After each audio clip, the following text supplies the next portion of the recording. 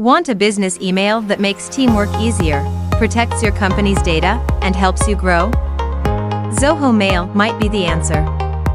Let's compare it to Gmail and see why it's a smart business choice. Here are some common functions to compare. Zoho Mail is built with businesses in mind.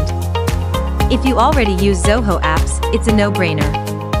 Unique features like streams let your team discuss projects right within emails, boosting productivity.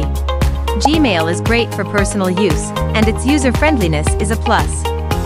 However, for a growing business, Zoho's focus on collaboration and integration sets it apart. Data security is non-negotiable for businesses. Zoho Mail offers features like two-factor authentication and end-to-end encryption, ensuring your sensitive information stays protected. While Gmail also takes security seriously, Zoho often goes the extra mile. Zoho Mail understands that businesses handle large files. Their paid plans offer generous storage and attachment limits, so you can share everything you need, without hassle. Gmail's storage is good, but Zoho's allowance for bigger attachments is a clear business advantage. Zoho Mail's pricing gives you options.